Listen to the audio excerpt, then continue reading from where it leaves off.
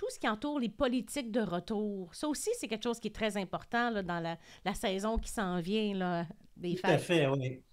On, on, tient pour acquis qu'on euh, a toujours le choix de, de changer d'idée, d'annuler une transaction, qu'on a 10 jours ou autre.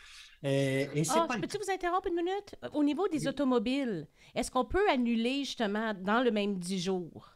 Ça, c'est une question qu'on euh, se dans, dans, dans, certains cas, si le, le véhicule fait l'objet d'un financement et que vous n'en avez pas pris livraison, vous avez quelques jours pour changer d'idée. Mais ça, c'est vraiment une disposition très spécifique. Je crois que c'est deux jours. Je ne suis pas absolument mmh. certain, mais il me semble que c'est deux jours pour changer d'idée. C'est pour ça que je voulais le préciser, pour pas que les gens pensent que c'est automatiquement dix jours, parce que dans le domaine automobile, c'est plus, euh, c'est plus nébuleux. Là, c est, c est... Non, mais j'allais dire que les gens pensent qu'il y a dix jours, mais on n'a pas dix jours ah!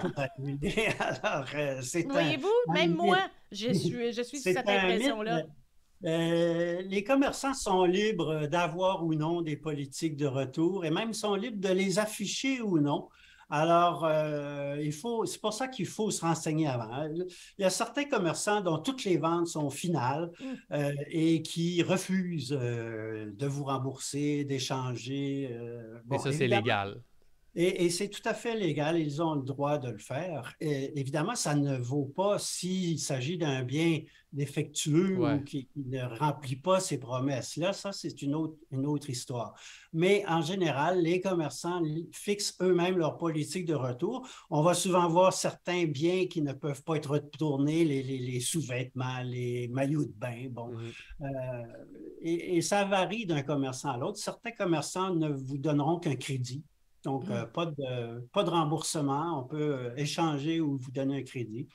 Et c'est pour ça que c'est important de se renseigner avant d'acheter. Euh, dans matière de commerce en ligne, ils sont obligés de vous dévoiler la politique de retour s'ils en ont une. Et c'est effectivement très utile de le savoir avant de commander en ligne.